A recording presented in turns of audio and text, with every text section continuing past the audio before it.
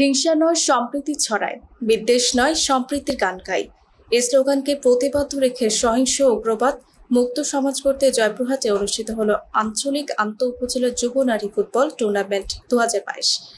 শনিবার বিকাল শহরের ধানমন্ডি এলাকায় জয়পুরহাট মহাবিদ্যালয় মাঠে আন্ত উপজেলা আঞ্চলিক টুর্নামেন্টের উদ্বোধন করেন জয়প্রহাট এক আসনের সংসদ সদস্য অ্যাডভোকেট শামসুল আলম দুদু।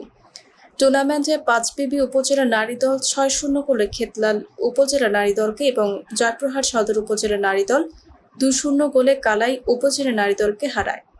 এই খেলায় ফাইনালে পাঁচবিবি উপজেলা নারী দল এক শূন্য গোলে জয়প্রহাট সদর উপজেলা নারী দলকে পরাজিত করে।